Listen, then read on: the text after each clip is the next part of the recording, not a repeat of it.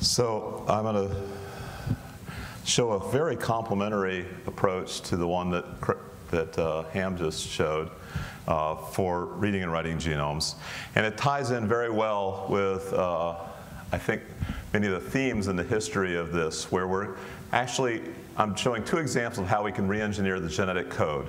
Not met metaphorically, but actually the translational code that uh, Govind Khurana and his coworkers helped to decode and established, in a sense, the, the field of functional genomics, uh, synthetic genomics um, back in the 60s um, by actually taking synthetic pieces of RNA and making them work on ribosomes. And I'll show you our progress on, on reconstituting ribosomes uh, in that context as well.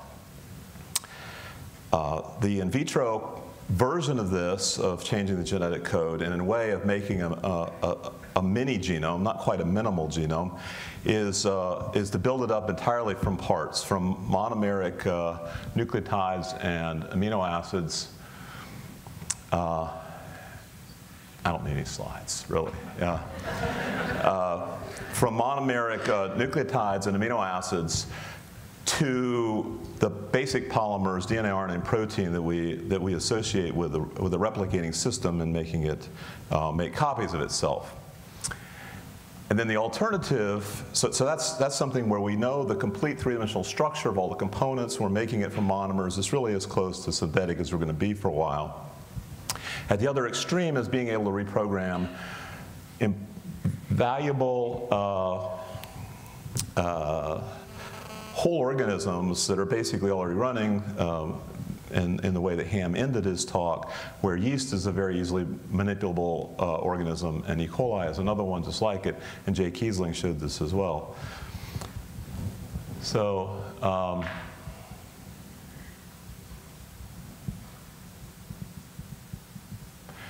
um, so when we, when we uh, are engineering these, these systems, we, want, we wanted to, uh, we're aiming for, for uh, systems that replicate very quickly. They have high efficiency they, of whether your goal is to make um, specialty chemicals or make bio, uh, biological fuels or pharmaceuticals, as, as, as Jay pointed out. Yeah, that's okay. Um,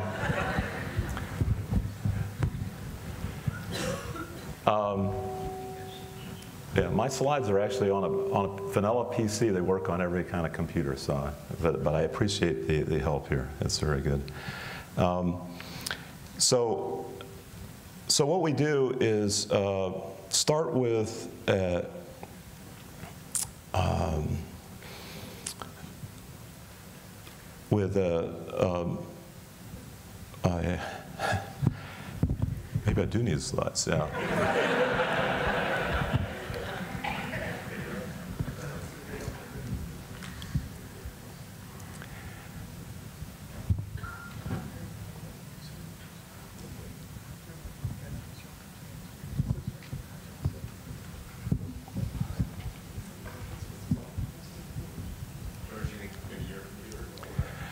Would you like to use my computer?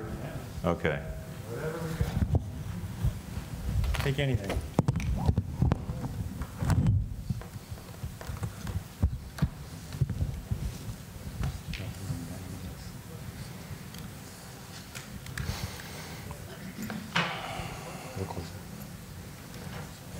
Thank you.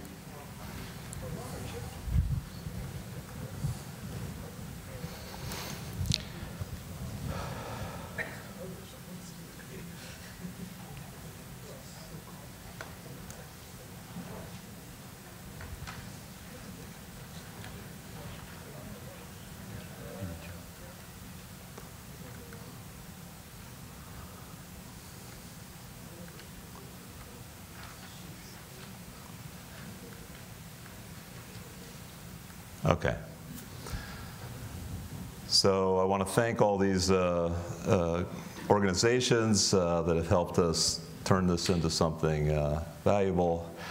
And uh, this is also my conflict of interest slide. So you really can't believe anything I say. Um,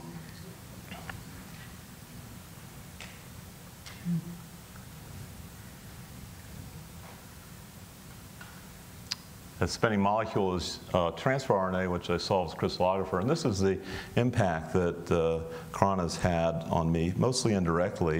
In 1971, he invented PCR. He did not get the Nobel Prize for that. Uh, and this is a quote from his JMB paper, he and his colleagues. Uh, and I, I, definitely read it and, uh, and, and uh, didn't do much about it until years later, but everything I've done since then is dependent on it.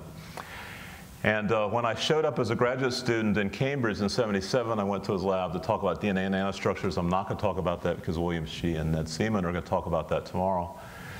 And then, but to put in perspective why DNA nanostructures and to some extent PCR were not really feasible when I showed up as a graduate student was that uh, synthetic primers were still expensive in every lab other than uh, Govind Khorana's lab.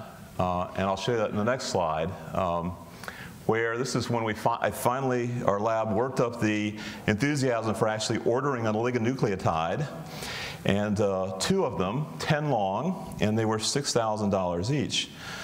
Um, and this was collaborative research who, who I continued to work with for many decades after that, uh, doing synthesis and sequencing of various sorts. We've improved by seven logs in writing DNA, and we've improved in seven logs in reading DNA since then, and I'll give you some illustrations. So this so I participated in the first generation of reading and writing, and this is the second generation. It's based on same, same way, it's based on synthesis and sequencing on chips, or basically flat glass surfaces for the most part. And here's four, five of the companies that I've worked with on, on various ways of synthesizing DNA on chips. And we can now make up to 60, even 160 million base pairs of raw DNA on chips sort of in the less than $1,000 range. That's raw DNA, and I'll emphasize that in, in the next slide. And these four, five different ways of doing it range from inkjet to uh, standard chemicals. Um, and then illustrated here is a micromirror device, which uh, Franco Serena, who's uh, did a lot of this work here at Madison and, and is a close friend and colleague, um, championed it at, at Nimblegen and it's, key to many things that we're going to be doing in the future. And then uh, with Joe Jacobson and Paul Modric and, and others have developed, and we have developed ways of doing error correction. So this is the second generation uh, DNA synthesis. And in a way, the first fusion of these that I experienced was when I started as a graduate student, Greg Sutcliffe and I did some of the DNA sequencing of the first synthetic chromosome, which happened to be the first plasmid. And it was uh, what everybody used for recombinant DNA, and it's still present in most recombinant DNA vectors, which is PBR322. And if we had continued, if we had done, Greg and I were, were, were we, we, we, uh, we worked for food, but still it would have been $60 billion to sequence the human genome as efficient as Greg and I were at the time. Um, needless to say, that's changed by more than seven logs. And and we followed a Moore's Law curve from the 70s all the way until uh, four years ago, uh, which is pretty steep uh, exponential. That's a logarithmic plot on the, on the y-axis. But it sped up to 10 times, uh, a tenfold improvement per year for second generation sequencing and to some extent for DNA synthesis of raw oligos. But the key thing that's missing here is that uh, the blue line is gene synthesis, which Ham uh, pointed out came down in price, but not at this meteoric rate. And it's been limited because almost all gene synthesis is still using first generation sequencing and first generation synthesis, slightly scaled up and commoditized. But it's still, it's, it's, there's this big four log gap which we hope to, to bridge in, in getting from raw DNA to genes and genomes. Uh, there's a lot of different contributions to second gener uh, generation sequencing. In particular, uh, Rade Drmanic in 91 published a non-gel based sequencing method where he did 100 base pairs, sequencing by hybridization. And many of these other things, I'll, I'll be thanking my postdocs and graduate students uh, in pictures as we go along here, but very grateful to them. Uh, and these are uh, 18 of my favorite companies on ultra low cost sequencing. And I'm just going to, uh, these range from electron microscopy, which is getting, uh, coming back uh, into vogue, And the pollinator is just the one I'm going to illustrate because it's most relevant to synth synthetic genomics. And it happens to be the only of those 18 which is open access hardware, software, and wetware. And the question is, why do we care? And we have precedents for open architectures like the IBM PC, which was somewhat useful, um, and Wikipedia, which some people use occasionally, uh, and so forth, uh, Google Maps and whatnot. And this is uh, this instrument is about four times less expensive, uh, and, it, and it has very high throughput, 2 billion reads per run, and it handles both polymerase and ligase chemistry. And you could think of those as both sequencing by synthesis. The synthesis keeps uh, and, and, reading and writing keep in, interacting with one another. And the reason it's important to have this open access, I think, it's an experiment. We won't, we won't really know till for a while.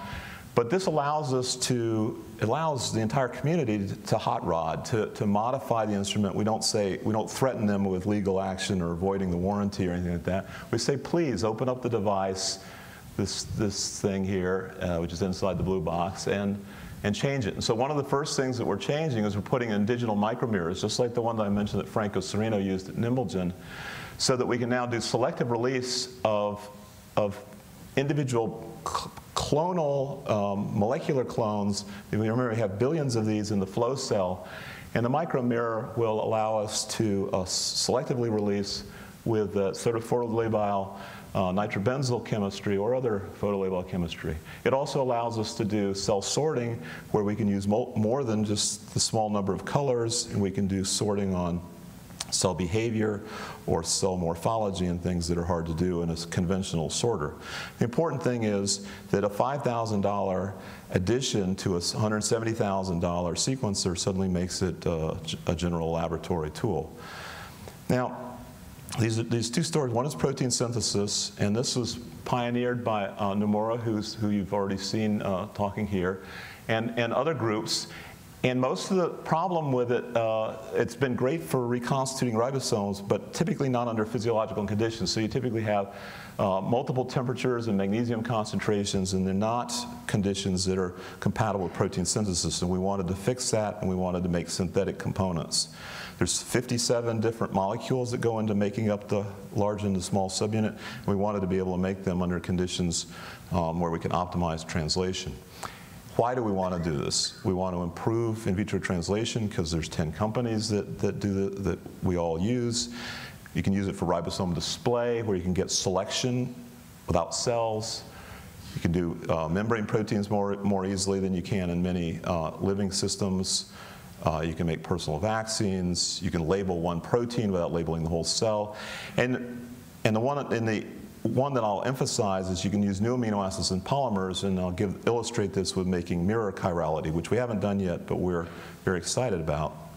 And the idea about mirror chirality is you have uh, normal right-handed BDNA on the left here with a, with a polymerase doing PCR, and then the mirror DNA will only be recognized with a mirror polymerase and they don't crosstalk.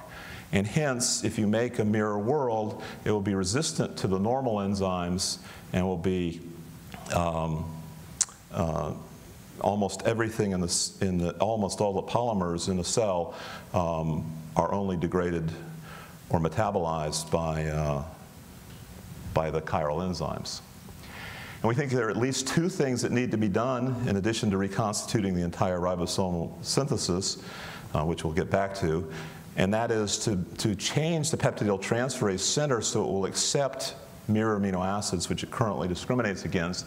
There's been a little bit of effort here in 2003, 2006 from the Heck lab. And the second thing we need is to charge the amino acids, the mirror amino acids on the tRNA in the lower right there, um, which this uh, Hiro Suga's lab has, has produced a general amino acid tRNA synthetase, which is based on a ribozyme, which is only 46 nucleotides long. This is all for an in vitro system. You can charge up the tRNAs in advance. So that we think that these two things plus an in vitro system for the ribosome will work. Now, these, these we think, I'm going to show you all the genes products that we think is necessary for replicating DNA, RNA, and proteins. This is done in the genetic code format, the 20 amino acids and the two stop codons indicated here by release factors 1 and 2. Proteins are in purple and the, R, the, rib, the tRNAs here are in red. And to fill out, so this is just the tRNA amino acyl tRNA synthetases and the release factors. And this is a mini genome, which we mean is, min, yeah, thank you for bringing down the lights. Um, it's, it's minimal mini genome, but not minimal in the sense that we add a few extra proteins that we think will add, capture the high speed and high accuracy that we have in E. coli. So it's E. coli based, so we want a 20 minute doubling time at least um, uh, for this system. And so the ribosome is there on the far right, the, the large thing with the red ribosomal RNAs, and um, in the middle are all the tRNAs and their synthetases. Then we have the elongation factors and, um, uh, and initiation factors in the lower left. And you get the idea there's 113 kilobase pairs of DNA and 151 genes. And we've made all of these uh, synthetically. They're all his tagged, and you can purify them. The crystallographic structures are known. So we're not there yet, but we're, um, we're in moving forward. And the key thing that we, we felt that, that was missing was being able to reconstitute the ribosomes under physiological conditions. And, uh, and Mike Jewett, postdoc in the lab, um, recently did this both with um, uh, normal ribosomal RNA, so basically taking the proteins and RNA apart and putting them back together again, um, and then using uh, protein synthesis, not, not poly-U or some other surrogate, which is typically what's used uh, in the ribosome reconstitution field, but actually a, a, a large uh, messenger RNA for protein synthesis.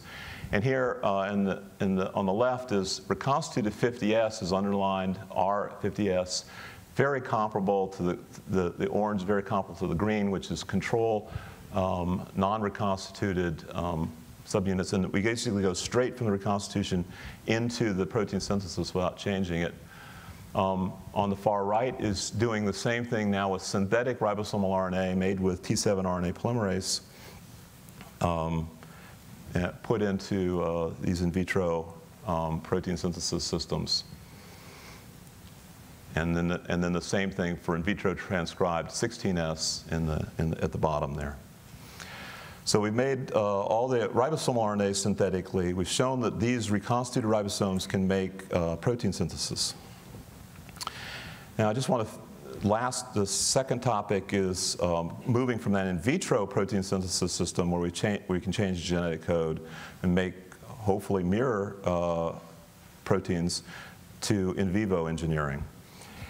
And part of what we're doing is we're harvesting uh, enzymes from the wild, and, uh, and uh, Dr. Landick pointed out the, the issues with getting lignocellulose, uh, uh, degradation products which are toxic.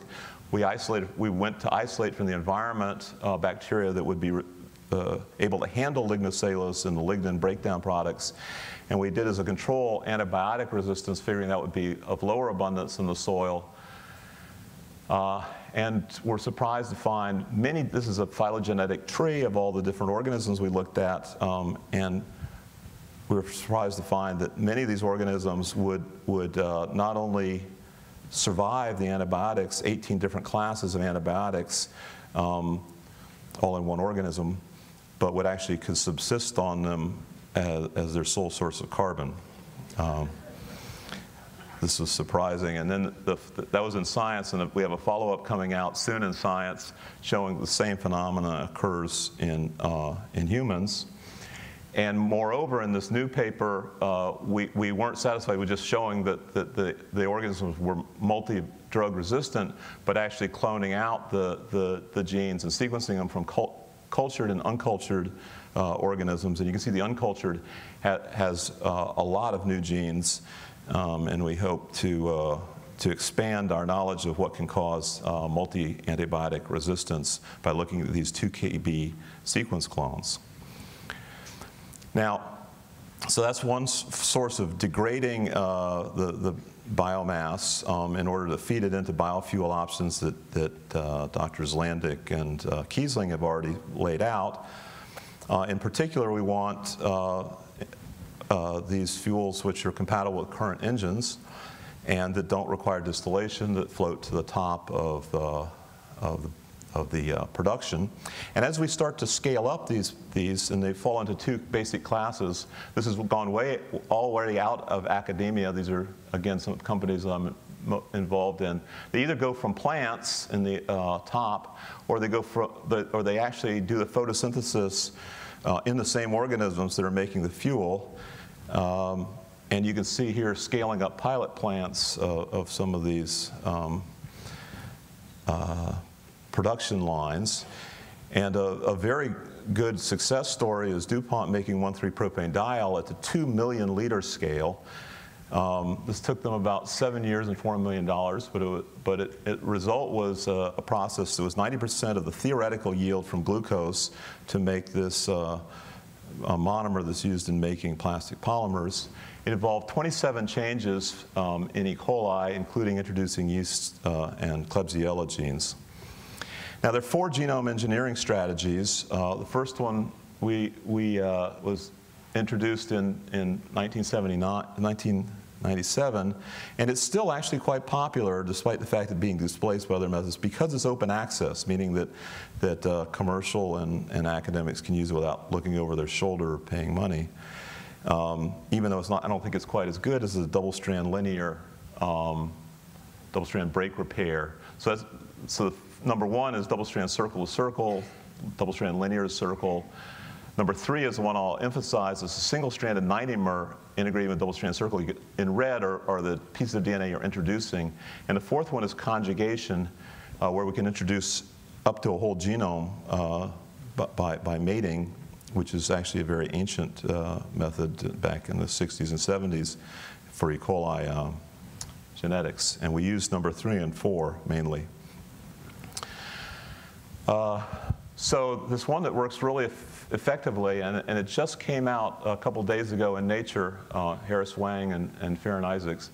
Um, we introduced the red uh, synthetic oligonucleotide, and this requires two changes to the strain. One is the uh, single-strand binding protein um, that escorts the, the, oligo to the, to the uh, lagging strand uh, of the replication fork, and then a MutS that uh, prevents that mismatch from being repaired. Normally, you, you would favor the old strand and get rid of the, the new, and that's not what we want. And we've optimized the, the, the, the various parameters, including we protect the end with phosphathiolated bases. And, and in sector B there, uh, we show that, uh, that uh, secondary structure, you can have a computer-aided design that avoids secondary structure. This has been turned into an instrument, and we're making copies of this instrument for uh, some early adopters. Call it Multiplex Automated Genome Engineering, or MAGE. Uh, it has a three-hour cycle time where you introduce uh, a, a, group of oligos, as many oligos as you want, really, and it will put them in at about 30% efficiency per cycle on average. We've seen as many as eight changes uh, simultaneously in one cell in a two-hour, two-and-a-half-hour cycle. Um, that, that's all without selection, precise single point mutations or a variety of, of, of deletions up to uh, 40 kb. It's very efficient. Uh, and I'm going to illustrate it with two goals. One is uh, where you have a single goal, and the other is where you don't really know what you're doing, and it's a combinatorial optimization, kind of what Jay was talking about, where you want to optimize metabolic engineering. The single, the illustrate the single goal, we wanted to engineer in 314 changes. Remember, 27 changes is what DuPont did. We, we decided to do 314 changes to make multivirus resistance um, because that's something that might improve uh, process yield. Uh, whenever a virus or phage gets into your, your processing, it, it really messes you up for a couple of months.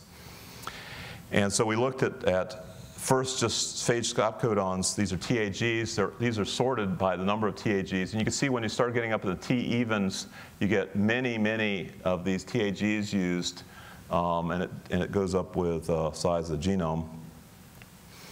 And so we looked at the genetic code of, uh, of E. coli, and this is the, the standard code with the numbers next to them are the number of uh, codons that are actually found in the proteins that are used in E. coli. And, the, and it happens that the famous amber codon is used only 314 times. It's the least frequently used one, so the easiest one to change. Still not easy. Um, and we've made all 314 of those changes now. I'm happy to say that's Farron Isaacs who led this led our team. We did this with Joe Jacobs and, uh, and Peter Carr as well. And, uh, and so now we're coalescing those 314 changes in a diagram very similar to Ham's, but very different in what we're actually doing, where you bring together, we, we actually introduced changes throughout the, into 32 different E. coli genomes, and then by conjugation, we're bringing them in first one and two together, three and four, and then bringing one, two, three, four together. And we're, we've got it down from 32 original strains down uh, to about a dozen strains right now, and, and we were getting close to a single strain. And so the, second uh, example and last uh, is has to do with evolution, where you where you uh, th- most of these were done by spontaneous uh, evolution. Two of them from my group, one for alcohol resistance, one for tryptophan and tyrosine synthesis and exchange. But, but better than spontaneous is directed, and you've seen this MAGE device is capable of doing directed synthesis. So we wanted to be able to accelerate lab evolution. And this is the, basically the last slide. Uh, and this just came out in Nature's, so you can take a look at it. And what we did is we put, we engineered the ribosome binding sites of, of uh, 24 genes. Some of them had to go up, some had to go down. And we just targeted the entire pathway for lycopene biosynthesis. This was suggested to us by, uh, that we should target this by Jay uh, Kiesling, and he provided us with a plasmid that, that made E. coli sort of make lycopene. And we got it from sort of making lycopene on the far left to basically the highest levels of lycopene that have, that have ever been seen uh, in, in three days. Um, by running the MAGE with lots of combinations of ribosome uh, binding sites uh, scattered through the entire pathway. And you can see for each of these bars with the uh, lycopene production, the kinds of mutations that we were seeing. So just in, uh, in finishing here, uh, we've been talking about this incredible exponential in DNA reading and writing, but haven't yet put them together, and that's what we're going to try to do over the next year or so. Um, we use computer-aided design for this accelerated evolution um, aimed at metabolic engineering of chemical fuels and drugs. We're working on a mini genome, not a minimal genome, which is, has about 151 genes right now. That could change. We're not there yet, um, which has the potential for making mirror um, polymers, but not there yet. Uh, and this integration we talked about, the, the MAGE, um, chromosome transfer by conjugation, we've dusted off an old method there. And resistance, I, I mentioned multi-drug resistance, which we discovered and we're, we're uh, exploring further. Multi-virus resistant we're aiming for, and multi-enzyme resistance. And I didn't mention, but I'm certainly uh, very excited about um, reading. We, we are working. The next thing we're doing uh, with MAGE is uh, human genomes, and we have modest levels, not quite as remarkable levels of reprogramming point mutations there. And, uh, and then the reading part is personalgenomes.org, and if any of you want to volunteer, that would be great. Period, full stop. Thank you.